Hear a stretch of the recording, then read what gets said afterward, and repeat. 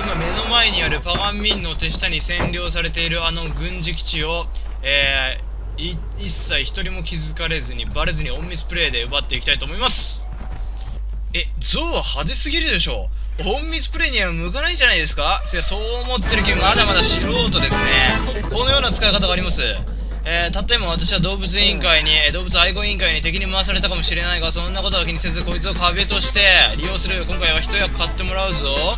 さあ何も知らず敵か敵の基地から出てきたアホなネズミが1匹。彼は知らないだろう。自分に矢が向けられていることなど知る由もない。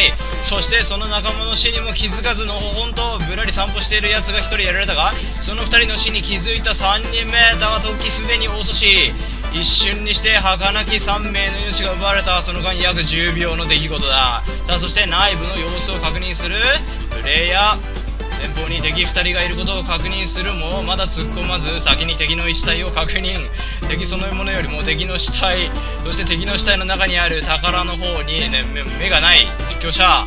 さあ大変だ。小さなゴミ袋一体何のことだ。さて大きいあーっと痛々し。いなんという野生的な応急処置なんだ。さすが生まれも育ちも田舎者。ね両親がゴールデンボスだっただけありますね。彼ら2人の両親の血を引き継いでいる。ねそして2人の敵が目の前にいるが奴らに対して投げナイフで応戦しようとするプレイヤーだがまだ投げない。様子を見ている。そして投げナイフの持ち方がえぐいぞ。えぐいぞ。刃そのものを持ってる。刃本体を持っている。普通は絵を持つのではないかという一般人のそれとは全く異なった考え方。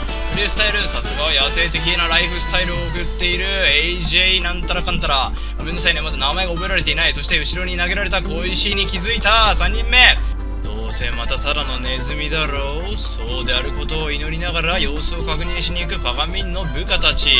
まさかそれが実況者からの死のお告げであるとも知らずに。そしてさらに前へと出てくるそれは命取りだ。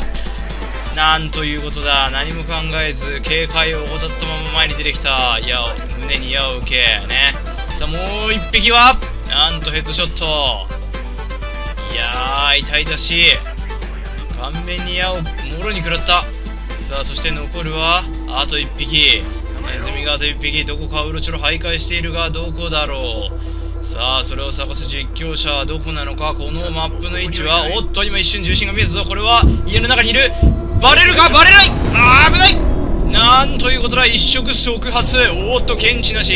これは素晴らしい。目標達成。忍び足のトロフィーを獲得。実況者目標達成。素晴らしい今回のファーストチャレンジですが当選がバレたり矢を外すなどところどころ危なくしいところがありましたが一応クリア。